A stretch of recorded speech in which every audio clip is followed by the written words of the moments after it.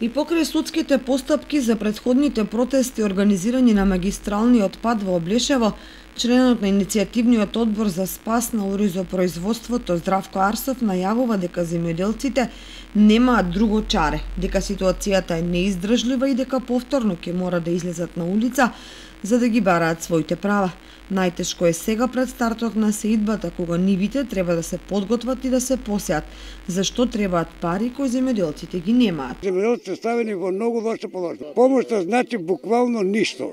1100 динара се еднакви на 20 килограми уреа со 20 килограми не се ори. 17 петила најмалку треба на, на еден декар. Тој вели дека ако владата не помогне во напорите за производство на повеќе храна, а поради скапите репроматеријали, 30 до 50% од полето ќе остане непосејано. Тие што ќе посејат, само ќе посејат, а со прскање и со ѓубриво мислам дека ќе биде проблем што значи производството ќе биде намалено за 50%. Проблемот станува се посериозен бидејќи лани делот од арпата беше откупен по багателни цени од 15 до 18 денари за килограм, а сега вештачки ѓубрива, нафта и пестициди мора да се набавуваат по двојно и тројно повисоки цени. Во такви соодноси на пазарот земјоделците се доведени во ситуација да работат со загуба.